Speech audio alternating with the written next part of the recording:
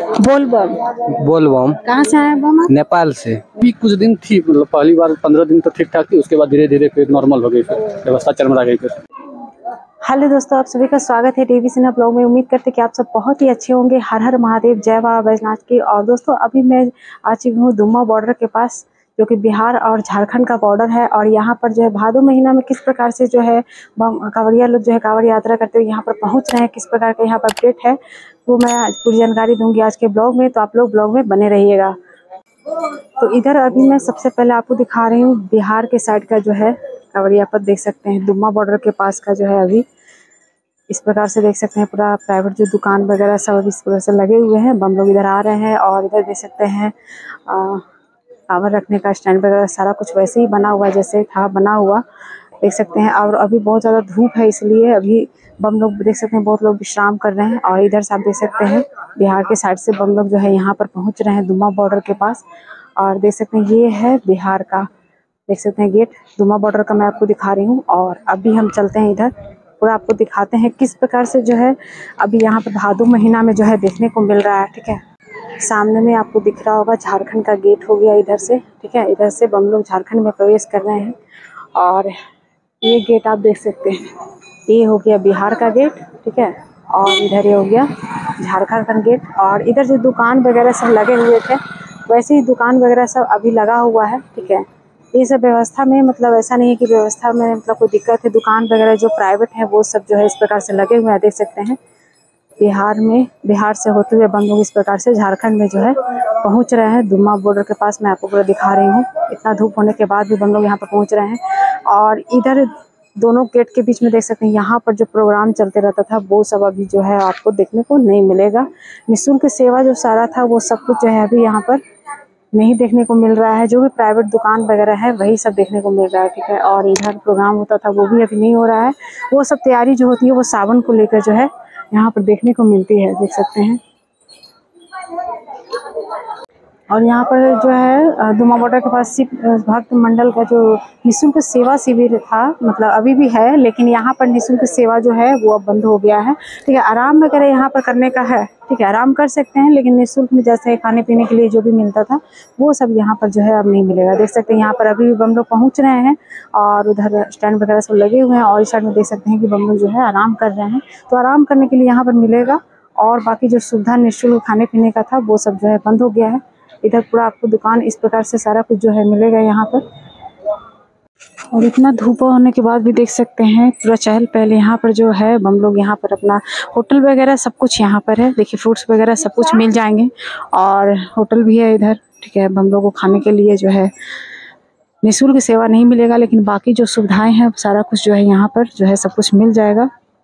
देख सकते हैं, ऐसा कुछ माहौल है। इतना धूप होने के बावजूद भी हम लोग यहाँ पर पहुँच रहे हैं। कांवड़ यात्रा करते हुए और भादो महीना का अपडेट जो है, मैं आपको दे रही हूँ, देख सकते हैं किस प्रकार से बम लोग यहाँ पर पहुँच रहे हैं और हर दुकान में देखेंगे बम लोग यहाँ पर बैठे हुए हैं, विश्राम भी कर रहे हैं। बम लोग से भी बात करेंगे और उनसे जानने का प्रयास करते हैं थोड़ा। ठीक है भादो महीना का कैसा उनका जो है एक्सपीरियंस रहा। यात्रा करके क्योंकि यहाँ तक आते आते उनका लगभग सौ किलोमीटर की यात्रा जो है कंप्लीट हो जाती है और यहाँ से फिर वो जो है यहाँ से दूरी लगभग मतलब दस किलोमीटर की दूरी ही बचती है बाबा नगरी की ओर जाने के लिए। तो इस प्रकार से पूरा दुकान वगैरह खुले हुए हैं और सब जगह बम लोग जो है बैठकर विश्राम कर रहे हैं। ठीक है देख सकते हैं।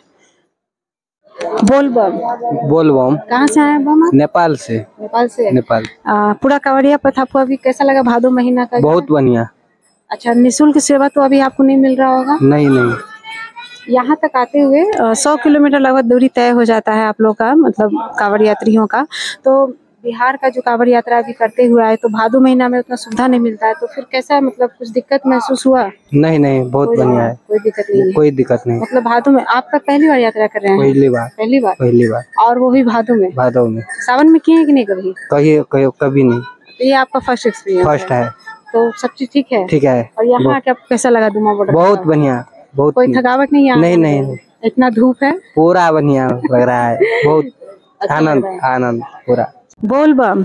बोल बम। कहाँ से आए बम? मामा आए तारापुर से। तारापुर से आए हैं। पहली बार यात्रा कर रहे हैं? हाँ पहली बार आए अभी पहली बार आए हैं। हाँ। तो भादो में क्यों सावन में क्यों नहीं आए? सावन में कम था भादो में कम नहीं है। मालिक साथ में आए हैं। नहीं समझ रहे हैं। क्या बोलना चाह रहे हैं? सावन में कम था। हाँ। और मतलब कि मालिक में कम करता था। हम्म। वो सावन खत्म कर दिए। हम्म। बाद में भादों में आए। हाँ। जब कम पिटा दिए तब आए। अच्छा काम निपटाने के बाद आए। हैं। हाँ अच्छा इसीलिए भादों में आए हैं। तो कैसा रहा आपका एक्सपीरियंस पहले एक तो पहली बार आप आए हैं ऊपर से भादों में आए हैं यहाँ पर बहुत सारा निःशुल्क सेवा भी था वो सब जो है सब जगह अब खत्म हो गया है। प्राइवेट सेवा जो मिल रहा है पैसा लगाकर मतलब लगने पर ही मतलब कुछ सेवा जो मिलेगा कावड़िया पथ पर अभी तो कैसा लग रहा है अभी? बहुत बढ़िया। कोई दिक्कत नहीं है। कोई दिक्कत नहीं। कांवड़िया पथ पर कोई दिक्कत नहीं कोई दिक्कत नहीं। बिहार का कांवड़िया पथ के बारे में कुछ बोलेंगे? नहीं जैसे आए बिहार से यहाँ आने के बाद तो आपको झारखंड में प्रवेश कर गए। हाँ। तो बिहार का कांवड़िया पथ कैसा रहा आपका? बहुत सुंदर। कोई दिक्कत नहीं कोई दिक्कत नहीं। चलिए धन्यवाद। बोल बम बोल बा कहाँ से आए बम आप? जी मैं बांका बिहार से आया हूँ। आपकी पहली या- पहली नहीं मेरी दूसरी यात्रा है तो भादो में ही करते हैं यात्रा हाँ हम लोग भादो लोकल के हैं तो बाहर के लोग ज़्यादा आते हैं ना सावन के महीने में। हम लोग भादो के महीने में आते हैं। तो मतलब भादो मतलब सावन में तो ऐसे बोलते हैं कि कांवड़ यात्रा बहुत अच्छा जो सावन महीना पावन होता है कांवड़ यात्रा करने के लिए। तो फिर भादो ही क्यों मतलब भादो में इसलिए आते हैं कि बाहर के लोग ज़्यादातर सावन में ही आते हैं सावन का ज़्यादा महत्व होता है। हम्म। तो भादो में हम लोग लोकल के हैं इसलिए हम लोग भादो में ही आते हैं। ऐसा तो नहीं कि स्पर्श पूजा के लिए? नहीं नहीं मैम हाँ। ऐसा कुछ नहीं है। दूसरे स्पर्श पूजा कर पाएँगे। हाँ ऐसा कुछ भी होता है लेकिन हम लोग हाँ। दूसरे मतलब दूसरे मतलब दूसरे जगह से जो लोग आते हैं वो लोग सावन के महत्व को जानते हुए ज़्यादातर लोग आते हैं। भीड़ भाड़ ज़्यादा रहती है सावन के हाँ, महीने में। भीड़ तो हो जाती है हम लोग भादो के महीने में अच्छे से पूजा करते हैं। हम्म। छू के मतलब शिवलिंग वगैरह छू के अंदर हाँ, जाके भी करते हैं। पूजा हो पाता है भादों में अर्घा हट जाता है और स्पर्श पूजा कर पाते हैं लोग। तो बहुत लोग इसलिए भी मतलब जो कर रहे हैं कि स्पर्श पूजा कर हाँ पाते हाँ। हैं हाँ, थोड़ा काम मतलब खेती का समय भी रहता है मैम तो लोकल के काम भी करते हैं मतलब धान वगैरह का खेती का और अभी जो बिहार का कवड़िया पथ जो है अभी भादों में कैसा रहा? उधर का एक्सपीरियंस थोड़ा सा शेयर जी मैम उधर थोड़ा बहुत कमी है रास्ते में कमी है है। व्यवस्था की कमी है बिजली की कमी है हर चीज़ की कमी है बिहार में। हाँ। अब तो झारखंड तो इन कर ही रहे हैं यहाँ की कैसी व्यवस्था तो पता नहीं। जी। झारखंड इनको आगे नहीं बोले हुए हैं लेकिन बिहार में बहुत कमी है।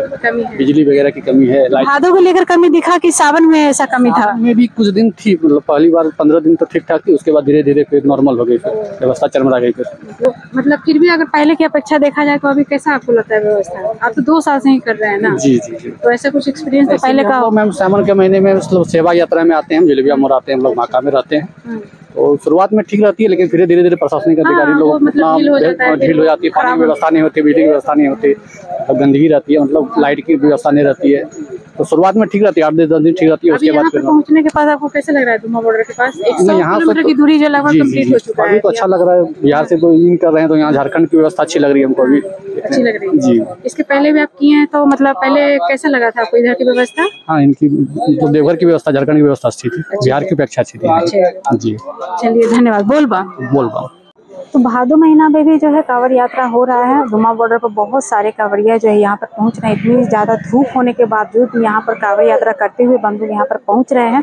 और जैसे कि बहुत लोग स्पर्श पूजा करने के लिए भी भादो में जो है कांवड़ यात्रा करते हैं। कुछ तो काम की वजह से सावन में नहीं कर पाए तो अभी जो है कांवड़ यात्रा कर रहे हैं। तो भादो में भी अच्छी खासी जो है यहाँ पर दुमा बॉर्डर पर जो है चल पर देखने को मिल रही है। बंधु यहाँ पर पहुँच रहे हैं कांवड़ यात्रा करते हुए, ठीक है? यहाँ से फिर बाबा नगरी की ओर पहुँचेंगे। फिर बाबा भोलेनाथ को जो है जलार्पण करेंगे और काफ़ी अच्छी रौनक देखने को मिल रही है भादों में भी। ऐसा नहीं है कि कांवड़ यहाँ पर नहीं पहुँच रहे हैं, कांवड़ यात्रा नहीं हो रहा है। अभी आठ से दस दिन लगभग जो है बीत चुके हैं भादों का और यहाँ पर कांवड़ यात्रा अभी भी हो रहा है, हम लोग यहाँ पर पहुँच रहे हैं। तो अच्छी रौनक यहाँ पर देखने को मिल रही है। हाँ सावन जैसा रौनक तो देखने को नहीं मिलेगा क्योंकि उस समय की जो रौनक होती है, उसकी अलग बात होती है। लेकिन भादों में जितना कांवड़िया पहुँच रहे हैं, उसके हिसाब से अच्छी रौनक जो है यहाँ पर देखने को मिल रही है। तो चलिए, फ़िलहाल इस ब्लॉग को एंड करते हैं। उम्मीद करते हैं कि आप लोगों को पसंद आया होगा। तो प्लीज़ लाइक कीजिएगा, शेयर कीजिएगा, चैनल पर नहीं हुआ चैनल को सब्सक्राइब कर लीजिएगा। चलिए, मिलते हैं आपसे अगले ब्लॉग में। तब तक के लिए आप अपना ख्याल रखिएगा, खुश रहिएगा। हर हर महादेव।